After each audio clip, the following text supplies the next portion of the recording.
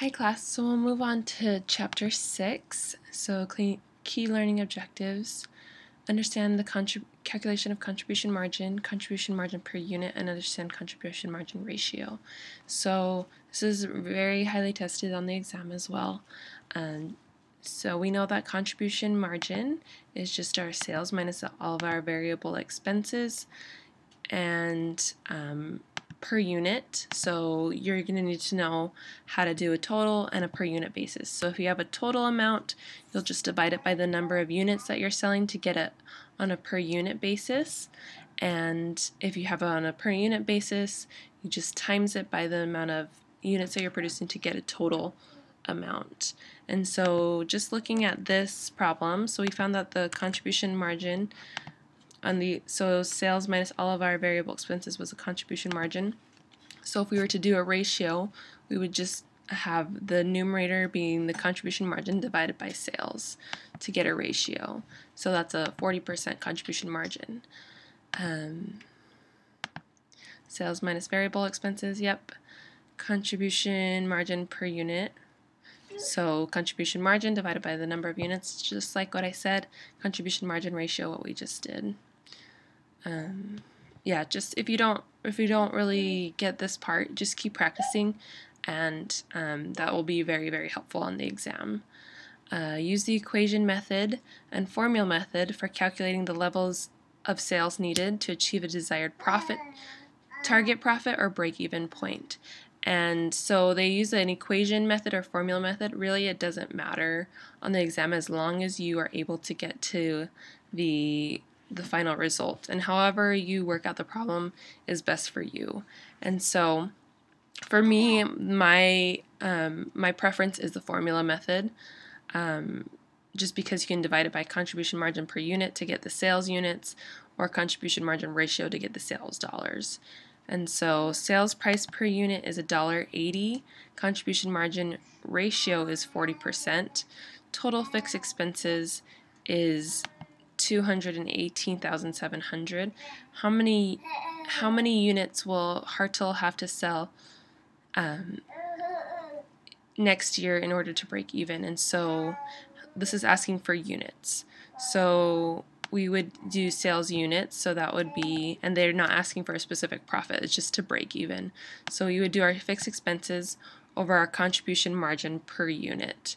And so we know that our sales sales price is $1.80 and then our contribution margin ratio we don't we don't know our contribution margin but we know the ratio. And so the ratio is 40% so we'll just times our sales price times it by our contribution margin ratio. So we know that our contribution margin that we're making is 72 cents and we can um, work backwards in order to find our variable expenses.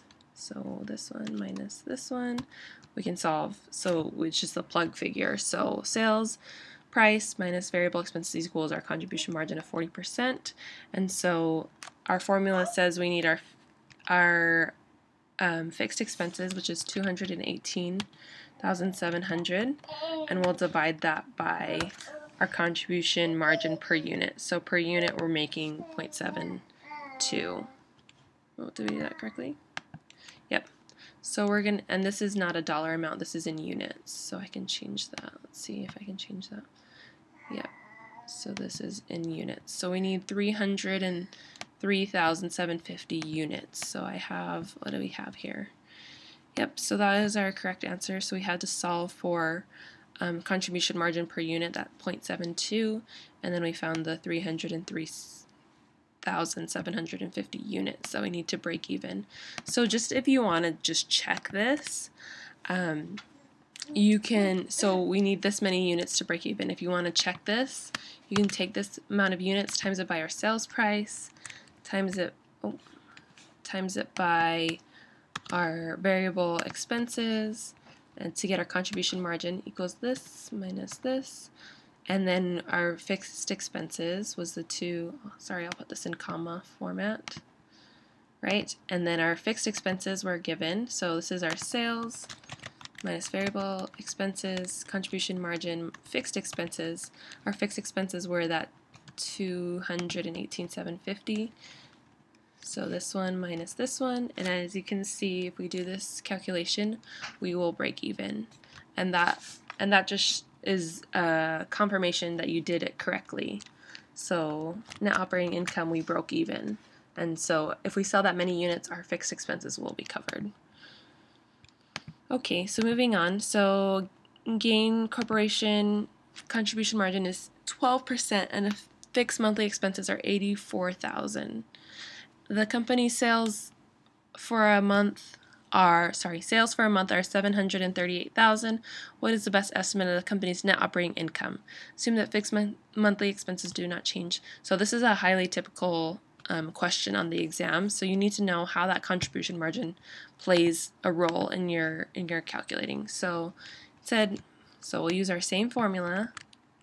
Move it over here and it said sales were 738,000 and fixed expenses were 84,000. Contribution margin ratio was 12% and they're asking for this net operating income. So how do we find all these blank spaces? So we'll take again our contribution margin ratio. That'll give us our contribution margin in total. So if you want this in a comma. So, and then, so we have our contribution margin. We underline this, or underline it. So we know that's our total. We'll just work backwards. So this one minus this. So 738,000 minus 649,440 we just plug that number to get our contribution margin ratio, or sorry, not ratio, contribution margin. And then our fixed expenses, what will be our net operating income? Contribution margin minus fixed expenses, 4,560. And I actually, I actually think this is the exact question you'll see on your exam. And then there's other ones that are similar.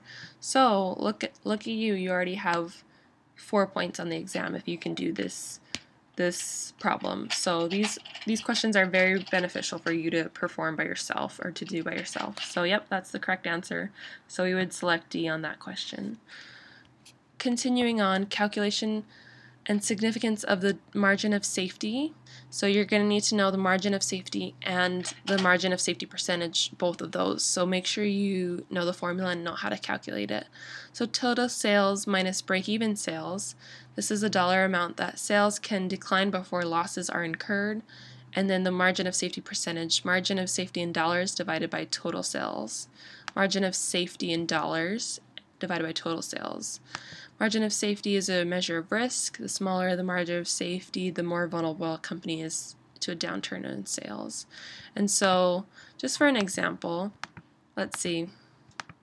So, our break even sales would be uh, fixed expenses divided by our contribution margin per unit. So, we need to do on a per unit basis.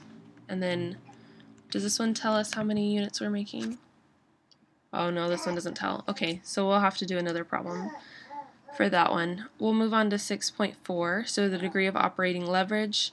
Degree of operating leverage is contribution margin divided by net operating income.